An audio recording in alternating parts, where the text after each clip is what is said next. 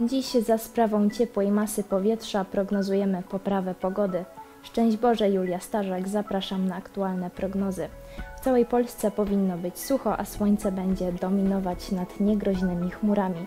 Na zachodzie, południowym zachodzie i południu temperatura powietrza wzrośnie do 20-23 stopni, a najniższa będzie od Pomorza po Mazury i Podlasie około 17-18. Południowy wiatr powieje przeważnie z umiarkowaną prędkością, a ciśnienie zacznie wyraźnie spadać w Warszawie około południa 1015 hektopaskali. Pogoda będzie korzystnie wpływać na nasze samopoczucie. Zobaczmy wtorek.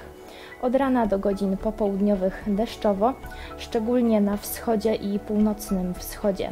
Z kolei na pozostałym obszarze przelotne opady deszczu, ale dopiero po południu i wieczorem, przeważnie 15-17 stopni.